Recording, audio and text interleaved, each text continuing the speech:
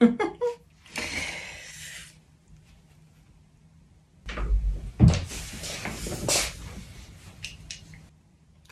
Å, er det her du sitter og jobber? Er det dette du har laga? Mm, OK. Mm, ok. Jeg driver faktisk og jobber her nå. Kan du gå? Ikke spesielt originalt. Vet du, det var ingen som spurte deg. Har du solgt noe i det siste? Ha det. Vet du hvor mange som likte den siste Facebook-posten din? Fire stykker. Den med, med den hodeskallen. Det Er derfor du sa opp jobben din?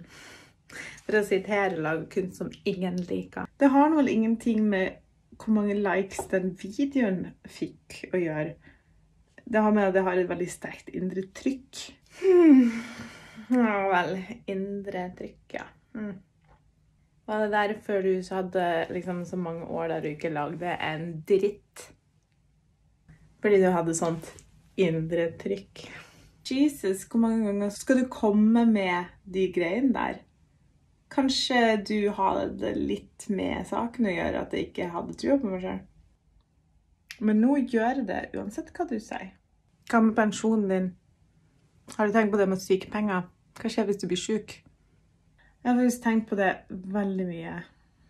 Og jeg har en plan, jeg har en strategi.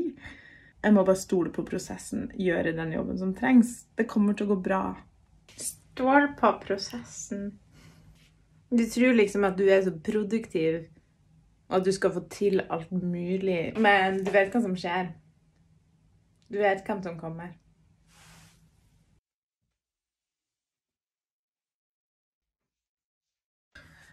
Åh, ikke dette her.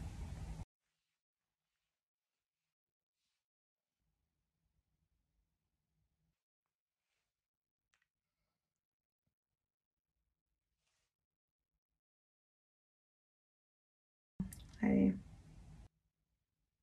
Our little friends. Ja, vi har møtt hverandre før, og vi kommer nok til å møtes igjen. Men jeg har ikke tid akkurat nå. Jeg har ikke lyst til akkurat nå. Kom igjen. Gå. Gå, bort igjen.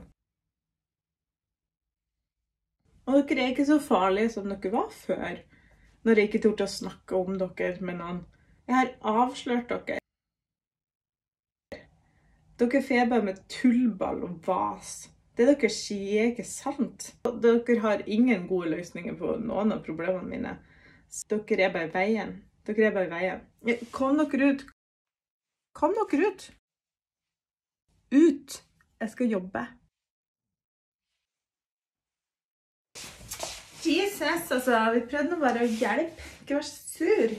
Du er helt verdiløs.